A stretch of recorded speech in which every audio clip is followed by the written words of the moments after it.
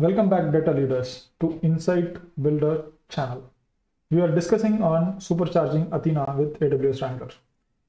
In the last video that if you have followed all the videos till now, the last video, we were discussing on creating a data pipeline where we take two text files, create two tables on Glue catalog and query them, join these two tables in Athena and then write the result to S3 bucket. This is what we are going to do in this video. And how are we going to do that? We are not going to use the AWS Glue console or Athena at all. We are just going to use Jupyter Notebook. If you are surprised, then probably you have not gone through the rest of the series. You have uh, searched in the internet and come to this video directly. If that is the case, I have uh, linked the playlist of all the rest of the videos of this uh, group of uh, discussion that I am having on AWS Wrangler. Kindly go through the playlist. Uh, it will explain the entire process of establishing the session, giving the basics of big data, and uh, how Glue Catalog, Athena are uh, interlinked. All these aspects will be covered in detail. Do go through that. Right now, I am going to directly jump into the Jupyter Notebook server the Jupyter Notebook server that you will uh, you will have to look at will be like this. It will contain these two folders, AWS Documents and Jupyter Books.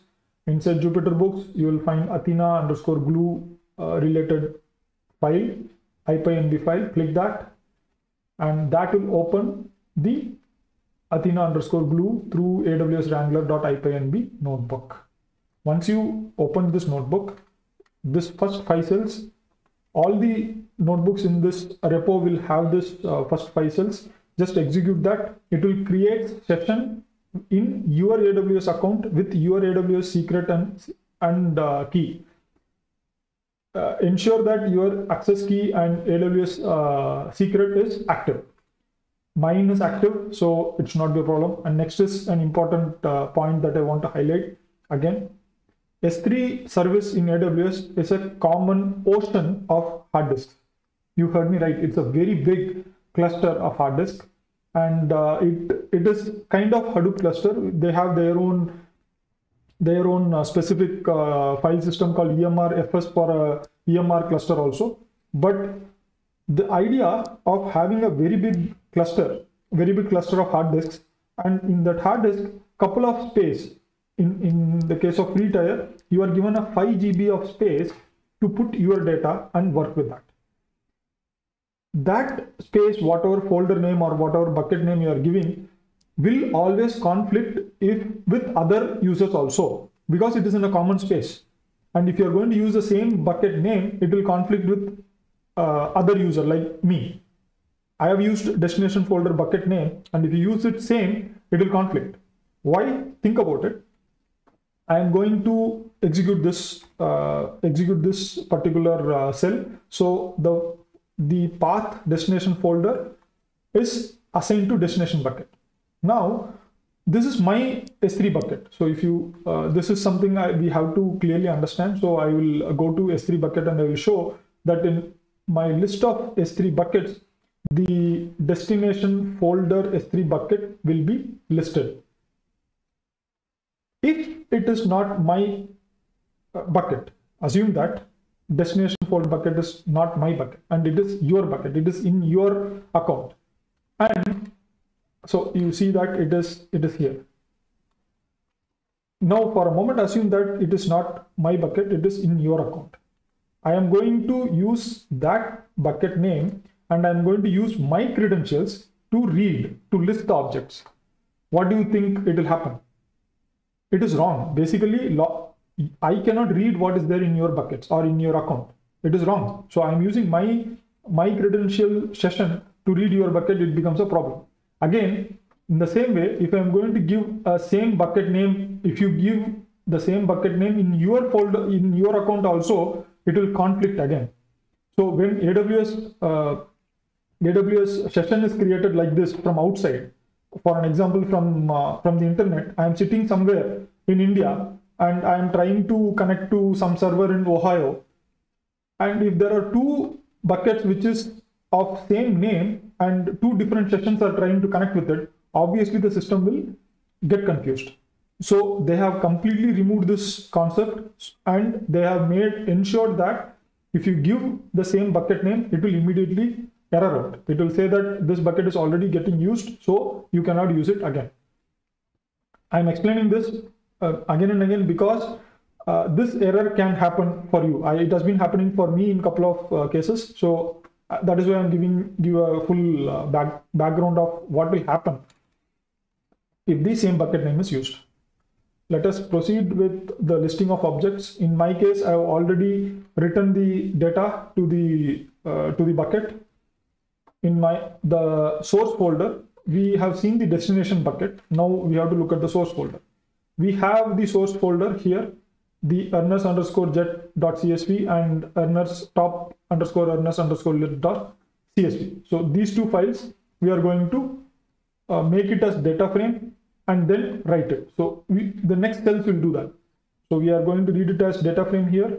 We are reading it as data frame and uh, then next we are going to write it to glue catalog. If you go back to the uh, uh, the presentation. So the text files have been read as pandas data frame and we are going to write it to glue catalog. Going back to my Jupyter notebook, I have to first of all list what are the databases in my account. You will see there are four databases. And I'm going to create a database named LearningDB.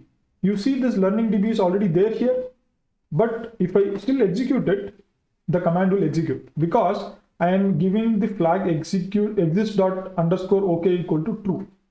Once I give this, the AWS Wrangler will not throw any error.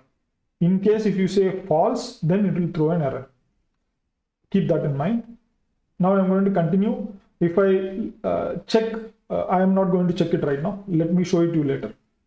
I'm going to write the pandas data frame as glue catalog tables. I have done that now. I'm going to write it and I have done that.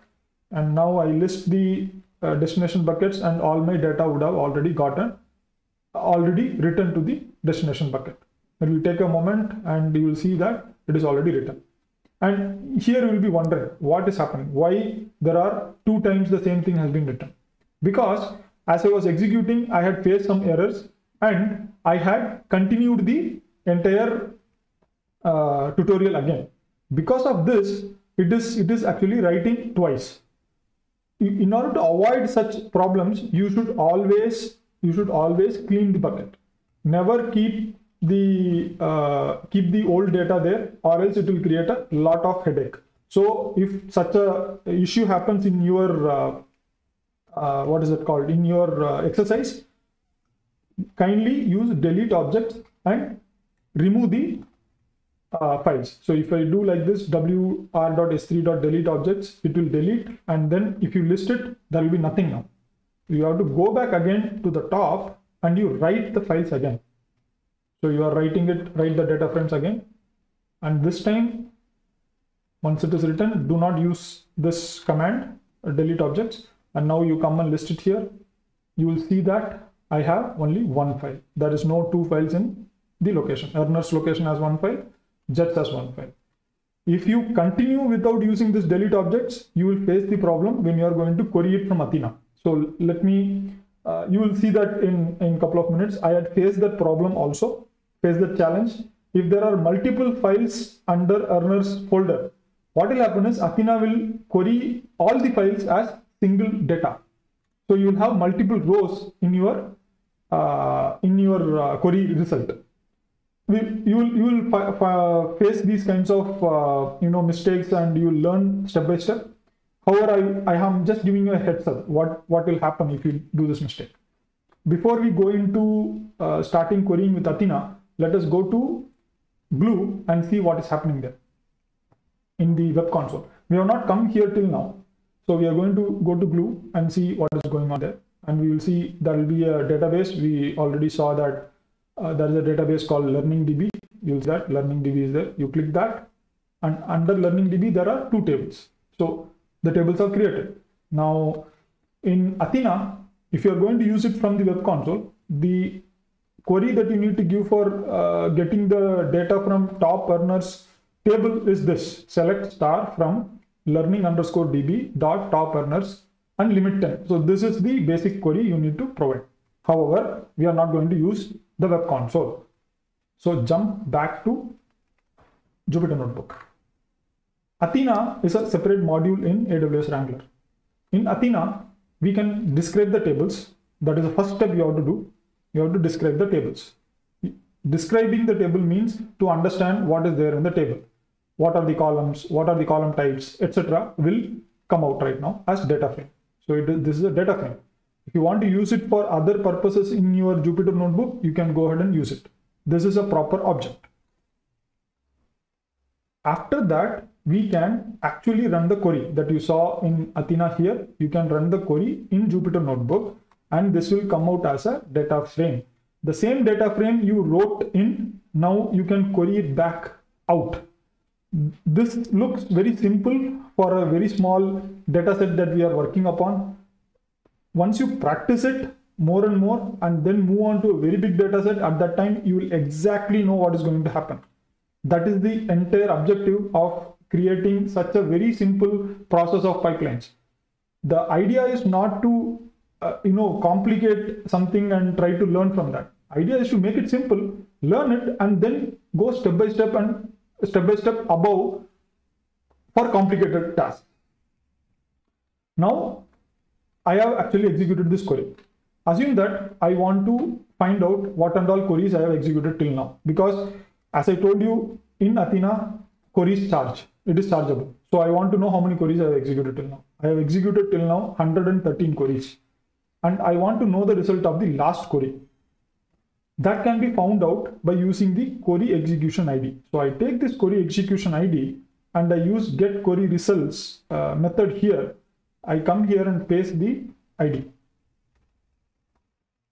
Remove this uh, older ID and if I execute it, you will see that I get the same result that I got here. It will take a moment. And again, this is again a separate, this is not going to be a separate uh, query written to Athena. You, you understand the purpose of using the uh, query execution ID. You don't need to query Athena again.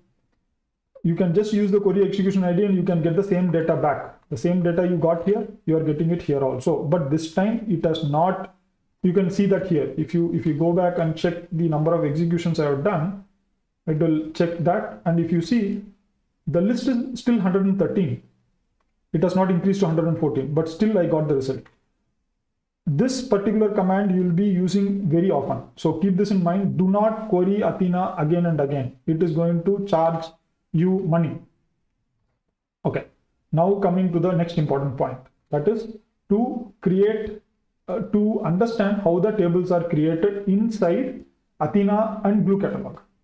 I told you this is all big data tables, right? So how can I prove that to you? It is very simple. Now I come and update show create table. There is a method called show underscore uh, create underscore table. You execute that.